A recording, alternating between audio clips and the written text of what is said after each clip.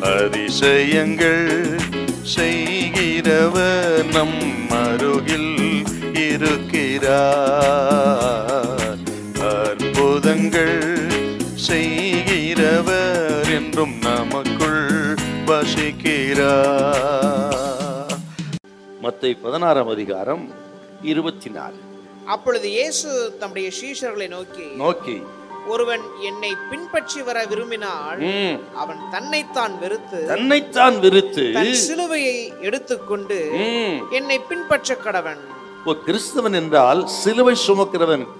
இயேசு கிறிஸ்துவின் நிந்தை ஆடு அவமானம் உபத்திரவம் இவைகளுக்கு பங்காளியா இந்த உலகத்துல வாழ்கிறவன் கிறிஸ்தவன்.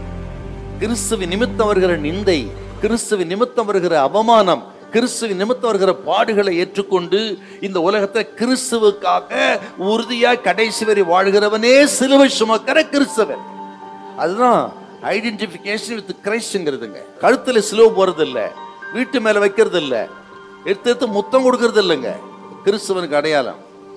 இயேசு கிறிஸ்துவின் நிந்தை பாடு அவமானங்கள் எல்லாவற்றுக்கும் பங்காளி. அப்படின்னா உண்மையா இருந்தா உலகம் உங்களை பகைக்கும். ரட்சிக்கப்பட்டு விட்டா ரட்சிக்கப்படாத மக்களால் உபத்தம் தான் உங்களுக்கு. பரிசுத்தமா வாட நினைத்தா இந்த உலகம் அப்படி முடியாது. இது காம்ப்ரமைசிங் உலகம். இதெல்லாம் சகஜம் என்று சொல்ல உலகம். இப்படிலாம் இந்த வாழ முடியாதுன்னு சொல்ல உலகம். லஞ்சம் வாங்குற இடத்துல நீ வாங்காத இருந்தா உங்களுக்கு உபத்திரம் உண்டு டிரான்ஸ்ஃபர் உண்டு உங்க ப்ரமோஷன் கட் ஆகும். இதெல்லாம் ஒரு எது நிமித்தம்? கிறிஸ்துவ நிமித்தம். அதுதாங்க சிலுவை சுமக்கிற கிறிஸ்துவன் இப்படியும் இருக்கலாம் அப்படி இருக்கலாம்ல இப்படித்தான் இருக்கணுங்கிறது தான் கிறிஸ்தவம். இப்படியும் அப்படியும் அது இல்லை கிறிஸ்தவம். சிலுவை சுமக்கிறவனே கிறிஸ்துவன் ஒருவேளை ஆண்டவரை ஏற்றுக்கொண்டதுனால உண்மையா இருக்கிறதுனால பரிசுத்தமாய் வாழ்கிறதுனால நிந்த எவமானத்தோடு வந்திருக்கலாம் நீங்க. இழந்து வந்திருக்கலாம் நீங்க. உண்மையா இருந்ததுனால உங்க நடத்தையை சந்தேகப்படலாம். உங்களை மனமடிவாக்கலாம். காயப்படுத்தப்பட்டு வந்திருக்கலாம். கத்த சொல்லுகிறார் நீங்கள் சிலுவை சுமக்கிற கூட்டம் உங்கள் நடையின் மேல் கத்த பிரியமாக இருக்கிறது கர்த்தர் சொல்கிறார் உன் உண்மைக்கு தகுந்த பலனை கர்த்தர் கொடுப்பாரே தவிர கர்த்தர் உன்னை கைவிட மாட்டார் அவரோடு பாடுகளை அனுபவித்தால் அவரோடு ஆளுகை செய்ய முடியும்.